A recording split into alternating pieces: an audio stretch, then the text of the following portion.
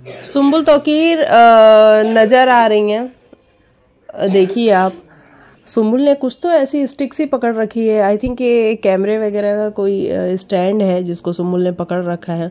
और सुम्बुल का ये कंटिन्यू चलता रहता है। मतलब वो कभी कैमरामैन खुद बन जाती हैं कभी उनको कैमरे के पीछे रहना बेसिकली सुम्बुल को ज़्यादा पसंद है। सुम्बुल ने कई बार इस बात को मेंशन भी किया है कि मैं चाहती हूँ कि मैं एक बार आ, करूँ कैमरे के पीछे काम ताकि मुझे पता चले कि कैसे चीज़ें होती हैं कैसे ऑपरेट होता है सब कुछ। आ, तो ये एक्साइटमेंट हम बोल सकते हैं कि सुम्बुल की है और पैशन भी बोल सकते हैं क्योंकि आप एक ही चीज़ कर करके कर करके बोर हो जाते हो। आपको हर टाइम मन करता है कि इस पर कुछ नया ट्राई करते हैं कुछ नया करते हैं।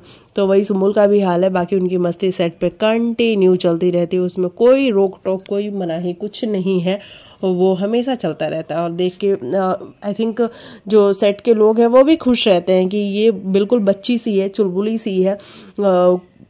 कोई ऐसा नहीं है कि मैं बड़ा स्टार हूँ, मैं ही इस शो की लीड हूँ, ऐसा कुछ, कोई एटीट्यूड ही नहीं है ऐसा वाला। तो ये एटीट्यूड आई थिंक सभी को पसंद आता है। तो बस सुमुल तो फिर को देखिए, आप इन्जॉय करिए, मैं बोलती हूँ नेक्स्ट वीडियो में, तब तक के लिए बाय बाय टेक केयर अपना ख्याल रखिए।